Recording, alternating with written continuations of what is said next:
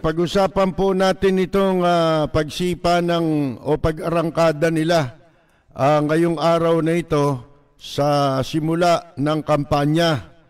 At alam nating lahat, naku po, na si Kwanho, si Vice President Lenny Robredo ay doon po nagsagawa uh, ng kanilang uh, kick-off uh, rally, kung tawagin yan eh, proclamation rally, di ba?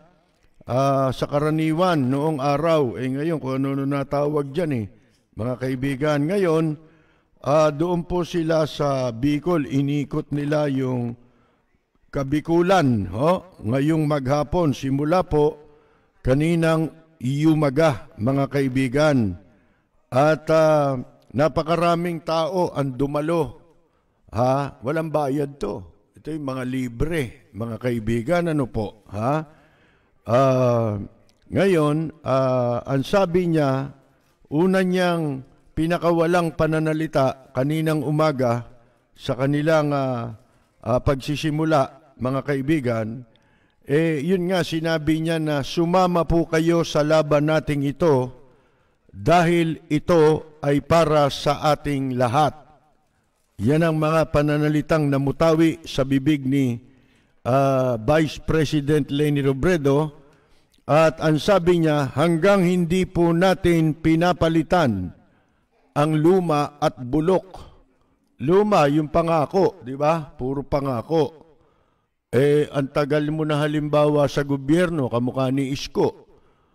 Kung tutusin mo, mas matanda si Isko kay Vice President Robredo pagdating sa politika. Di ba? Mas matanda siya dyan eh, sa politika. Kaya kasama na siya ron sa mga uh, kwanho, luma, luma at bulok na, di ba? Parang bakya mo neneng eh, mga kaibigan eh, na klase ng politika. Yan ang sabi ni Vice President Robredo. Hanggang hindi po natin nabibigyan ng inspirasyon at pag-asa ang ating mga kababayan, talagang walang magbabago, mga kaibigan.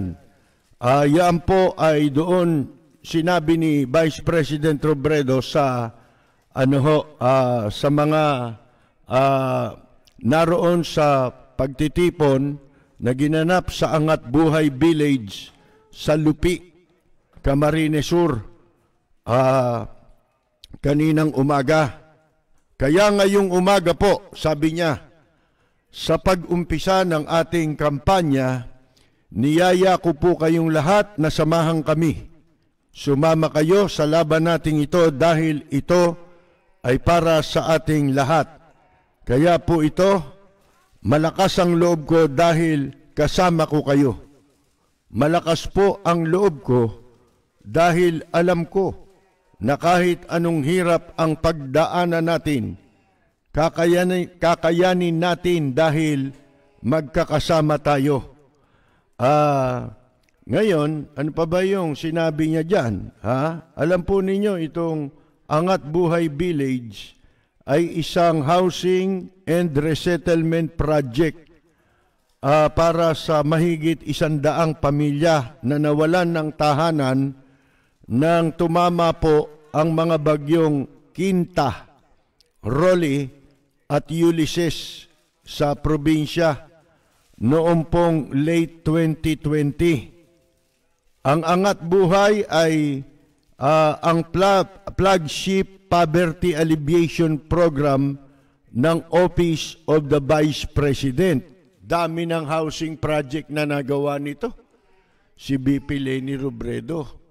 Mga kaibigan, hindi ho ipinamamalita ano. Ngayon na lamang mababalitaan natin uh, matagal nang tapos, ha? Tambalang Robredo at Pangilinan sinabayan ng iba't ibang aktibidad sa iba't ibang lugar sa ating bansa at maging sa ibang bansa. Hindi ba? Ng mga kababayan natin. Halimbawa, uh, dito po sa ano ho, uh, ano ba ito? Uh, sa iba't ibang lugar, mamaya babasahin natin kung ano-anong lugar yan. Ah, at itong ah, kampanya ho ni Vice President Robredo at ni Senator Kiko Pangilinan, ang magkatambal na tumatakbong presidente at vice-presidente na parehong malinis ang record, di katulad nung iba, eh dinededma yung masama nilang record. Ha? Kung pwede, wag mapag-usapan. Ah, siguro, kung papag-uusapan natin yan, si Isko Moreno eh, isa sa pinakamarami niyan, di ba? Oh, mag mag-aagawan lang sila ni ni Bongbong na tamad. Ito'y walang napatunayan. Ito si Narcos eh. Naging congressman, batugan. Ang daming absent, di ba? Absentee yan eh sa kamara. At naging senador, ganun din. Wala ring napatunayan ni isang batas, mga kaibigan. So paano mong iboboto at ano ang basihan mo para ka bumoto sa ganyang klase ng tao? Anong klase kang nilalang, 'di ba? Sira ulo mo. Ito nga eh kagabi lang binabanggit natin, 'di ba? Na yung isasagawa nilang uh, kwan ho, yung uh, yan, yung uh, proclamation rally. Saan nila ginawa? Sa Philippine Arena. Alam natin na ang Philippine Arena ay pag-aari ng Iglesia ni Kristo. At dahil dyan ay meron pong mga naglabasang sa pantaha. Hindi naman natin masisisi yung iba kung mag-akala sila, di ba? Uh, magkaroon sila ng masamang akala. Kaya kagabi, sinabi natin na yung Philippine Arena, bukas sa publiko yan. Yung mga gustong gumamit niyan, magbabayad ka. Di ba? Uupahan mo yung venue sapagkat yan ang pinakamalaking indoor arena. Hindi lamang sa Pilipinas, kung hindi sa buong mundo na may kapasidad na mula 50 hanggang 60 milyata ha, ang seating capacity, mga kaibigan. Eh pero mukhang uh, nilangaw po yung kanilang rally, yung proclamation rally. Kawawa naman ito. Kasi hanggang sa huling pagkakataon o sandali, uh, bago maganap itong uh, kanilang proclamation rally, eh sige pa rin ang pangangalap nila ng tao na bibigyan umano ng uh, halagang uh, 200, 300 pesos. Ha? may pagkain pa, uh, etc., etc. Eh pero, nagkamali sila. Ito para na rin sa COMELEC at para sa kaalaman ng publiko. Kasi kanina narinig ko yung COMELEC, ginawa nilang halimbawa yung nangyari kanina sa Philippine Arena sapagkat naging maayos ang pagpasok ng mga tao doon. Bagamat medyo kokonti sila kumalog. Kumalog po yung Philippine Arena eh. Hindi nila napuno. Uh, nagbabayad sila at nag-a-announce, kanina merong mga post na sa Facebook, yung mismong mga nag-post na uh, kung sino ang may gustong sumama na ang iboboto raw ay si Narcos at saka si Indaya Sara, mga kaibigan, eh bibigyan sila ng ganong halaga, tatlong kinupitan pa eh. Limandaan yun, di ba? Ginawan 300 eh, may pagkain pa raw, at yata yung mga t-shirt, yan. Ang pa- malaking pagkakamali nila, kaya makikita ninyo, disorganized, ha? Mga kaibigan, bakit? Kasi po, hindi nila naipaalam earlier hindi nila naabisuhan yung mga hinakot nilang tao para pumunta ron uh, kung ano yung mga ipatutupad na protocol. Ha? Eh, pinatupad po ron yung protocol eh. Ha? Na hindi ka pwedeng makapasok kung hindi ka bakunado. mga kaibigan. So, ang daming hinakot na hindi nakapasok. Mga kaibigan, yan ang napala nila. Hindi ho ba?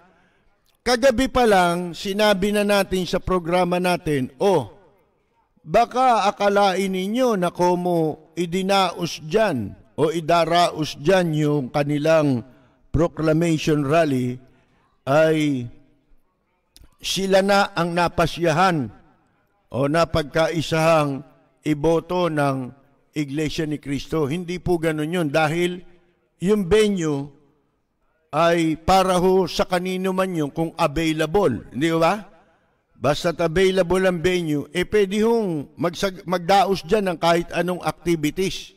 Hindi ba? Concert, kung ano-ano, pwede hong idaos dyan. Ngayon, bakit nila ito napiling gawin? Eh meron silang pahayag eh, mga kaibigan eh.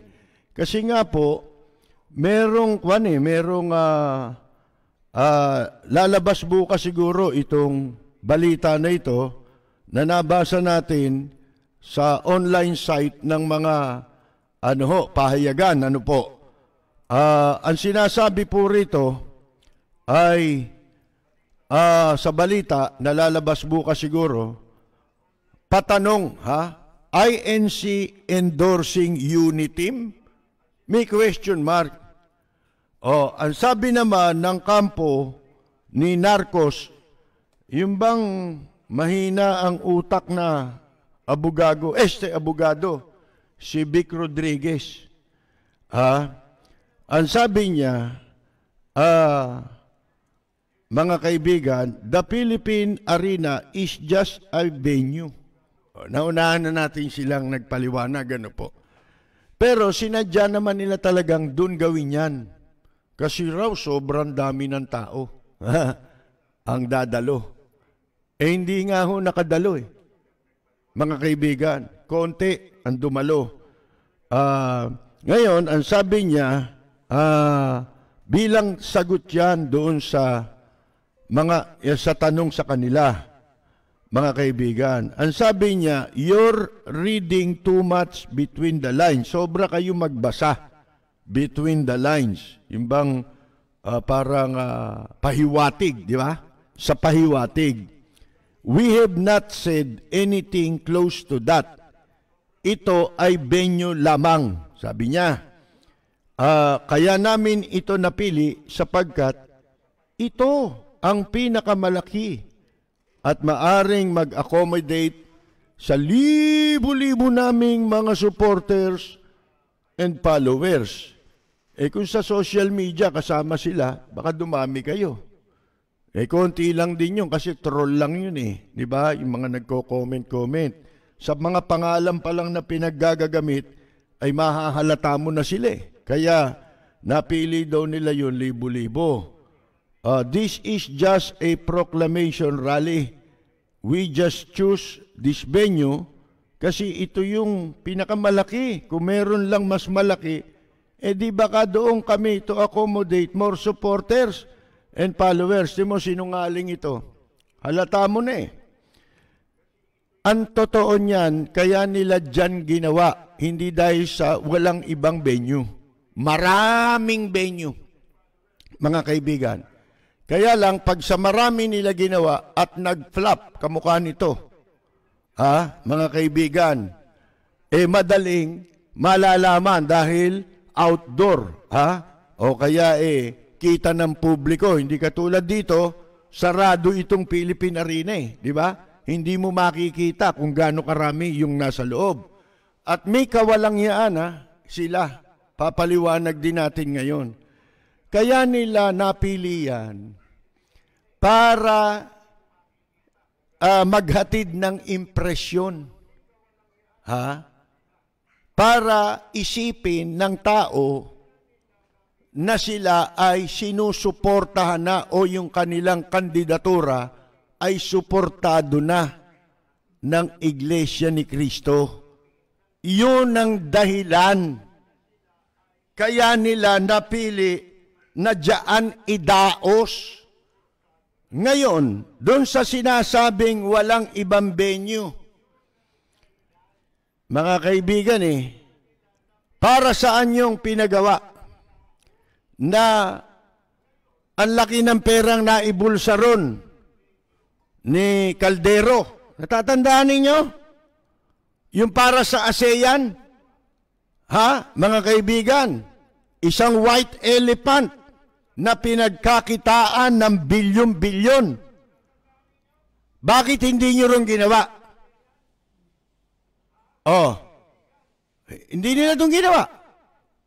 Hindi ba? Labas din ng Metro Manila yan.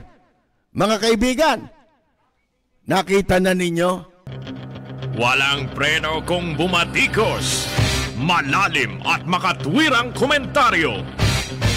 Mag-ingat ang mga politikong gumagawa ng kalokohan at baka kayo ay tamaan ng Lapid Fire!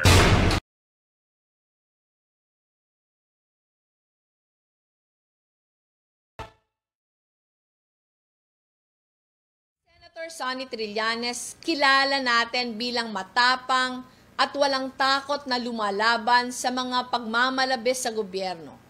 Mapapresidente o mga kilalang pangalan sa politika, tumindig siya para panagutin ang tiwali, kahit pa siya ay makulong. Kaya naman nung naupo siyang senador noong 2007, ang isinabatas niya, mga panukalang magre-reforma sa pamahalaan at tutulong sa ating mga kababayan. Noong 2019, bago matapos ang termino niya, pinarangalan siya ng Senado bilang most productive senator dahil siya ang may pinakamaraming naisabatas na national bills bilang principal author at principal sponsor. Maliban pa ito sa mga natulungan niya sa mga programa niya tulad ng medical assistance and scholarship programs. Ngayon tumatakbo siya para makabalik sa Senado. Tiwala akong ipagpapatuloy niya ang nasimulan niyang mga advokasya. Ang anti-corruption campaign, economic recovery and poverty alleviation, at peace and order. Kailangan natin ang kakampi sa Senado na di lang tutulong sa pagsulong ng mga programa natin, nang magbabantay sa mga susubok na magmalabe sa kapangyarihan, nang sisigurong mananagot ang umaabuso at nagsadlak sa atin sa mga problemang hinaharap natin ngayon. Ang bantay ng ating bayan, Senator Sonny Trillanes.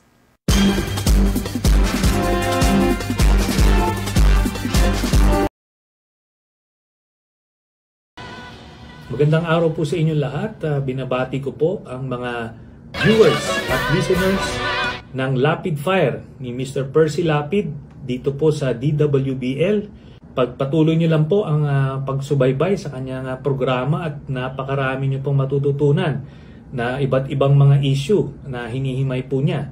At uh, ganun din po, nagpapasalamat ako sa pagsuporta at uh, tiwala ninyo sa amin So, maraming salamat po sa inyo.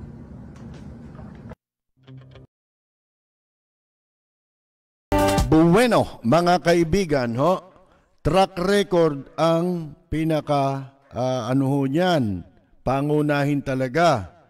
Napatunayan na sa mga naipakita at nagawa.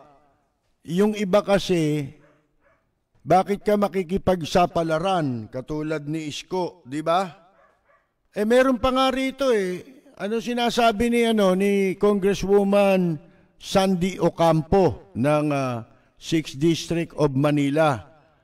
Ito, iparinig mo nga yung sinabi ni uh, Congresswoman uh, Sandy Ocampo tungkol kay Isko, ha? Wala kang video. Hindi eh, bale, bukas na lang, ha? Total, medyo wala na tayong oras eh. Pangako pa lang, pag pinangako, sawa na tayo dyan eh, di ba? Uh, walang garansya yan. Tutuparin, naku po. Uh, pag hindi tinupad, di nakipagsapalaran ka. Pag hindi tumupad sa naipangako, ang masaklap, ang sasabihin niyan eh, eh tamad kasi kayo eh. Di ba? Kaya hindi kayo umunlad eh. Pinangakuan ka, iaahong ka. Oh, hindi katulad ni Robredo, mga kaibigan, in talagang tinutulungan yung mga akwa natin, nangangailangan natin mga kababayan, di ba? Tulad yung sa Bicol, sa Marawi, ah, sa Sambuanga, oh, na mga nawala ng bahay, mga kaibigan, eh talagang pinatayuan ng bahay, di ba? Yung yun ngang nakalap niyang pondo eh, hindi ka mukha ni Isko, binulse eh. mga kaibigan eh. Ah, si Vice President Robredo eh. Yung nalikom niyang pondo na nag-chip in ang marami, nag-donation sa kanya para ipanlaban niya sa protesta ni Narcos Jr.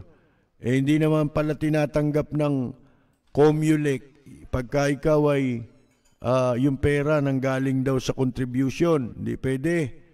O, ano ginawa? Binulsa ba niya yon? Hindi. Ginawa niya, ipinagpatayo niya ng mga bahay. Ha? Yan. Ang isa-isip nyo. Masaklap yan. Binoto mo, kamukha ng ginawa nitong si Digong nyo, di ba? O no pinangako sa mahihirap, mga kaibigan. O nung hindi matupad, ano sabi ng mga troll nila? Eh, tamad kasi kayo, para ka umasenso, magtrabaho kayo. mga kaibigan, no? mga luko-luko itong mga taong ito.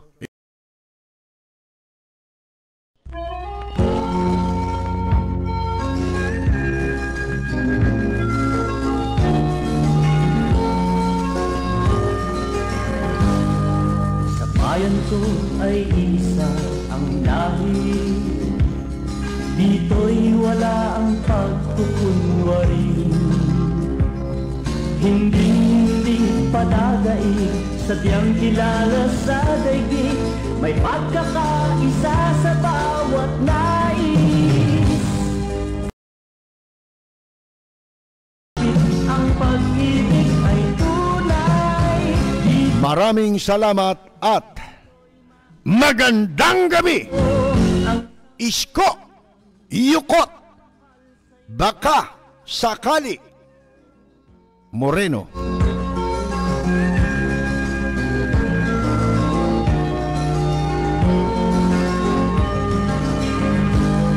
Ang bayan ko'y punong-puno ng yaman Bakit ito'y kailangan pang iwanan?